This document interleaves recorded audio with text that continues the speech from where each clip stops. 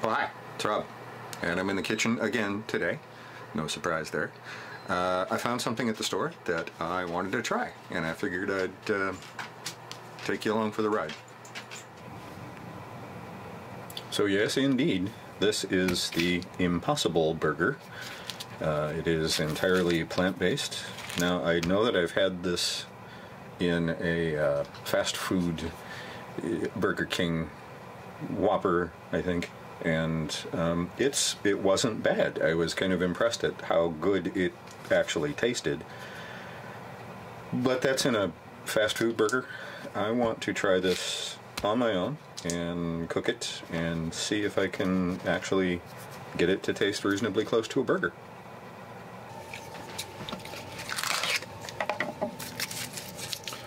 Okay, here we go.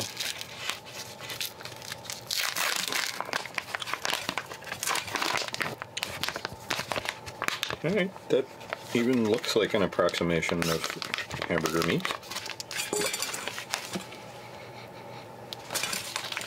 Doesn't smell quite the same, but... Hmm.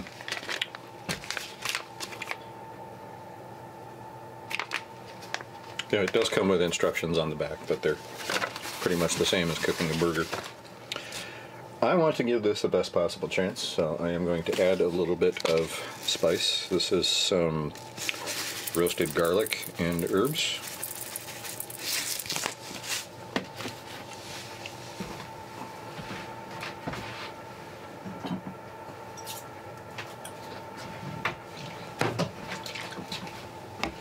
I'm also going to add uh, a little bit of liquid smoke just to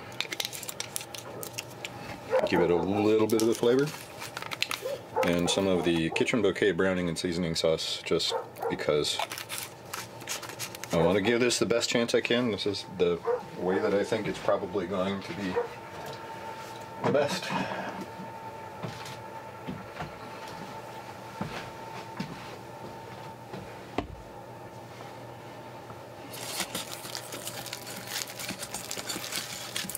Okay, it definitely does not feel like ground beef. Um, it is definitely grainy. And you can feel individual bits of uh, something. Definitely softer than beef. Doesn't stick as stick together quite as well. Uh,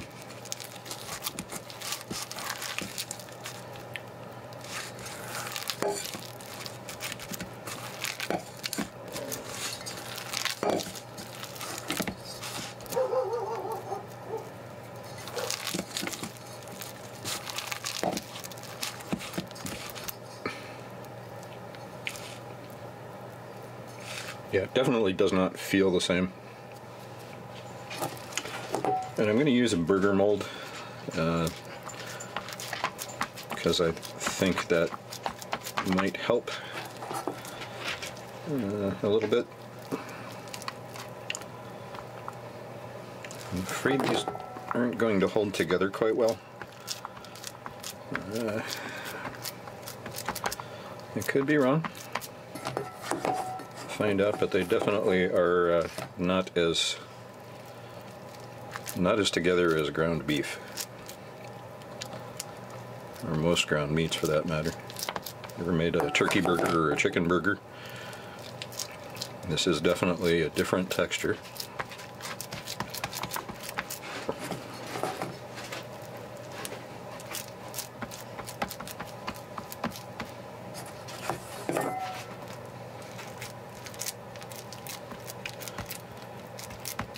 So we get not quite four these little beasties.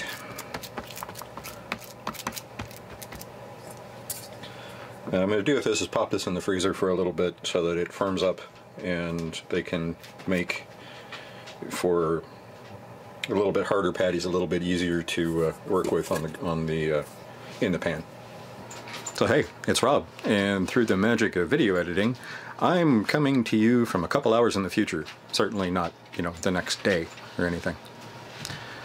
Uh, all right, let's get these buddies out of the refrigerator. Okay. Uh, I had these in the freezer for quite a while. Um, took them out and put them in the refrigerator to hopefully help to retain their shape a little bit. Uh, I want to get them out in one piece as much as I can.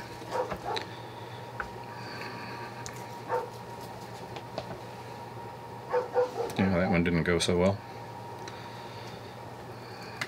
Well. So yeah, these should probably be uh, frozen and a little stiffer if you're actually trying to make them. But okay, we got some. We got three that are reasonably uh, reasonably similar. So I guess we'll take those and cook those up. Pan, medium heat. Um, want to go a little bit lower on these than I would with actual actual beef burgers. I'm going to add a little bit of grapeseed oil. I like grapeseed oil because it's a nice high smoke point oil. So it doesn't smoke nearly as much as it could when, you know, you're using something like olive oil. Okay, pan's heated up, I believe, to a good point. I guess we'll find out. Oh yeah. We got the sizzle. That's what we're looking for.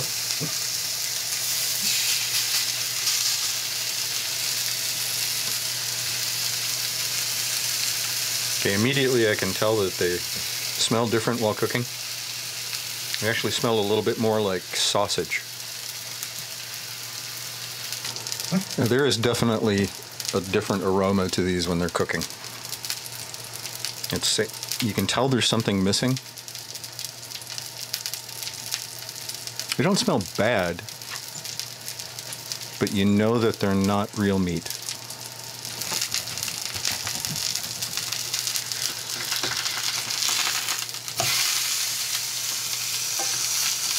Well, they do brown up nicely.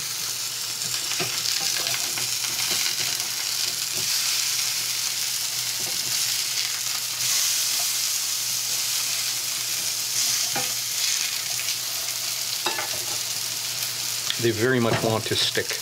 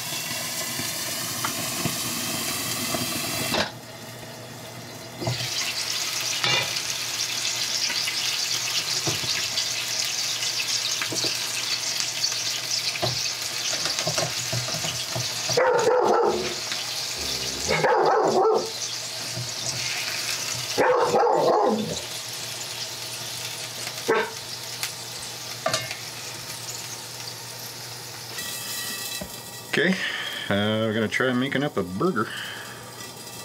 Uh, let's see, what I want to put on this? Let's just go with the basics.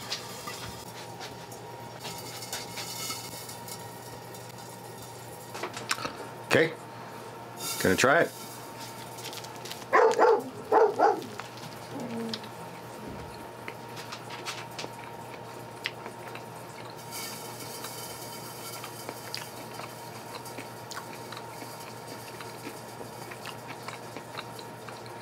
It's not bad. Not great.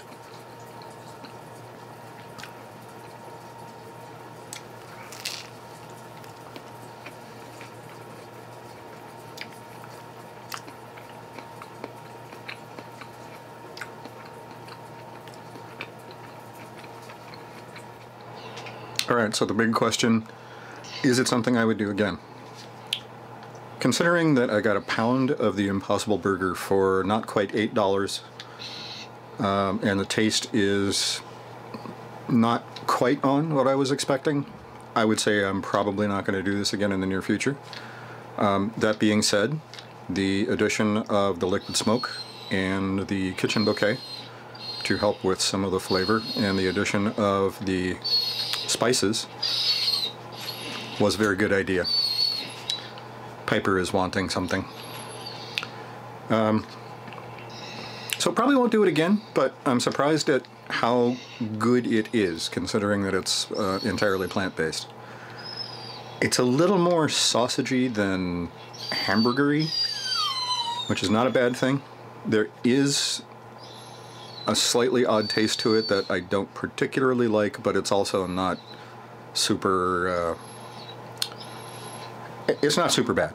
I mean, if I was to grab one of these as a burger um, after a night of heavy drinking or something like that, it would probably be just fine. Um, I tend to like my burgers made of beef. Um, it's just the way I am. So, anyway, wouldn't try it again. It's a little too expensive right now. Maybe in the future when the price comes down or the price of beef goes insane, it might be a more viable option. I haven't tried anything like meatballs. Piper wants attention. Uh, but it'd be interesting to try. I'm not going to do it. I'll come up with some other stuff. Right. See you guys.